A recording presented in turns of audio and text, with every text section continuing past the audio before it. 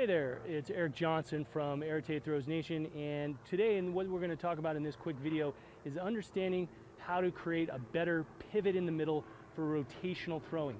So whether it's the discus or the shot put, we have to be very conscious of a couple of things. One of the simplest things we talk about or we teach, or a simple concept to help young throwers is you want to make sure that you, when you're coming through and you're creating rotation, that we understand that we're always having to move on top of the axis and we want to create that nice right foot pivot. This is something a lot of throwers have a hard time with, and one of the reasons is very simple. Athletes are coming into the middle and this heel, they settle, they sink. When the heel comes down, you create this kind of a reach. If the heel is coming up, you're rotating the hips as a unit into the throw, and then this will continue to rotate through the delivery. The one of the biggest mistakes young throwers make, or throwers even at the collegiate level is that you'll see they come in and they settle.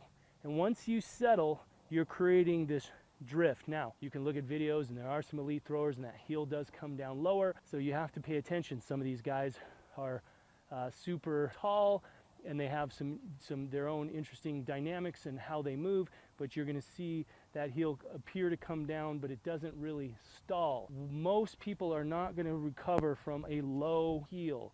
So the thing that you basically want to always understand is a really simple way, whether it's the shot, is once we're here, we're really getting that heel up. That heel up creates faster lower body rotation and you have the timing and there's variables and ways to approach it.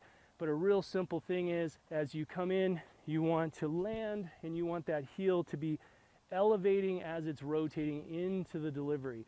When that heel comes down and it settles, that's the slowing of lower body rotation, and that's deceleration through the delivery, and faster acceleration through delivery is what translates to bigger throws. So next time you go out and throw, or you're looking at your videos, pay attention. Is your foot coming down too low, and are you decelerating going into your finish? Try to make sure that you prevent that heel from coming low and rotating low.